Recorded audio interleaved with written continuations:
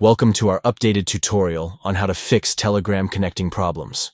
If you're encountering difficulties connecting to Telegram on your Android device, follow these steps to troubleshoot and resolve the issue. Step 1. Check your internet connection. Ensure that your phone is connected to a stable and reliable Wi-Fi network or mobile data. A strong internet connection is crucial for seamless access to Telegram. Step 2. Restart Telegram.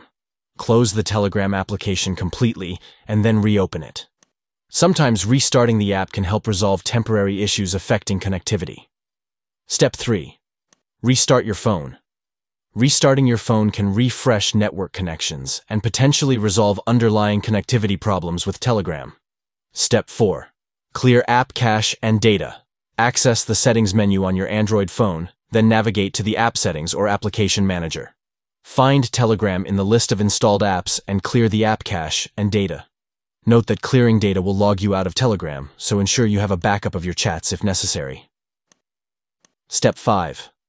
Update Telegram. Make sure you have the latest version of the Telegram app installed on your Android phone.